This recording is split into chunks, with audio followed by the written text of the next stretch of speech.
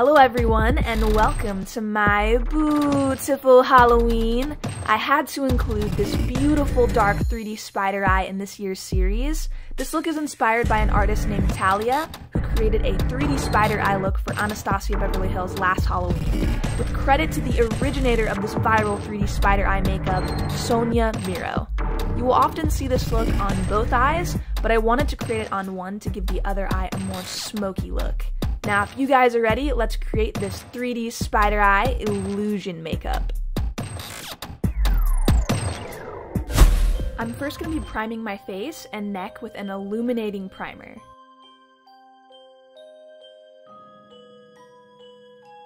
For an extra glow, I'm applying a liquid highlighter using a flat foundation brush. I'll also be applying a liquid highlighter to the body.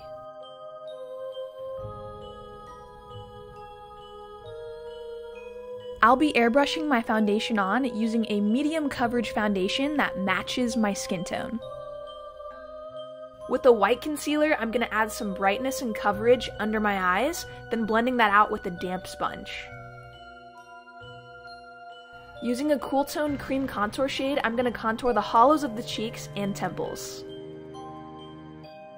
Then adding some extra highlight with that white concealer.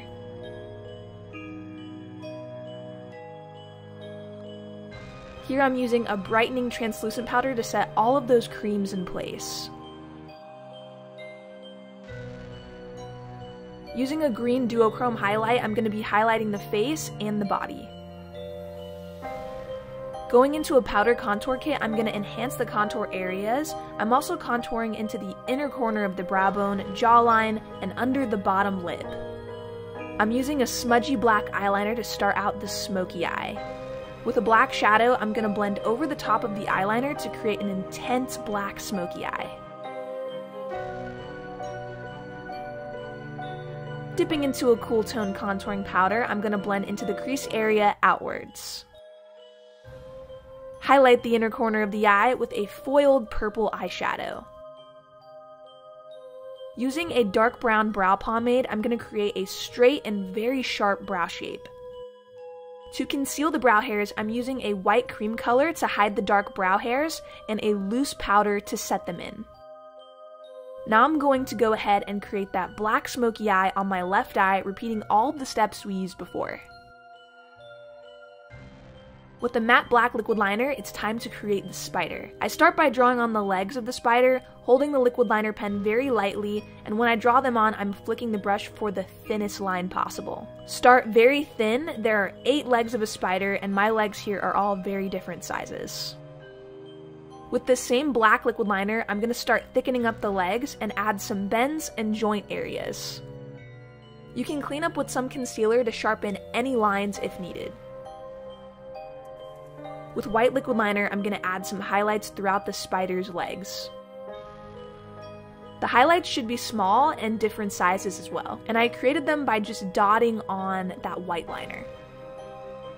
With black eyeshadow, I'm going to start creating the shadow that is under the spider. This creates that three-dimensional effect. Whenever the leg is casting a shadow, that shadow will appear beneath the spider leg. You can go back and darken up the very base of the shadow afterwards.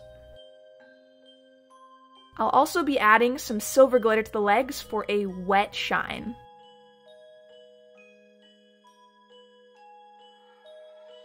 Now you can apply mascara and false lashes.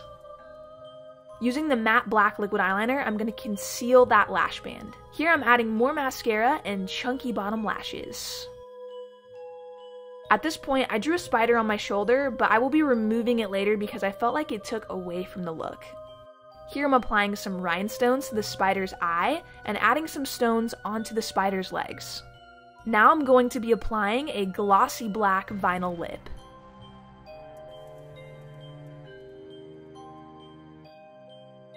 Add on some clear eye gloss for a wet lid look. Set all of that in with a long lasting setting spray. I'm going to be airbrushing foundation onto my chest and shoulders to even out my skin tone. Using a black airbrush paint, I'm going to apply to the neck area and along the shoulders and arms like a halo of color.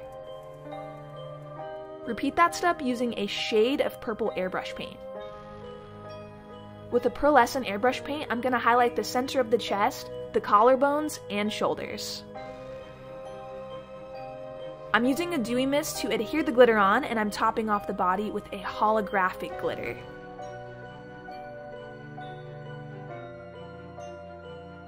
I popped on some earrings that went with the look and slicked back my hair as a final step.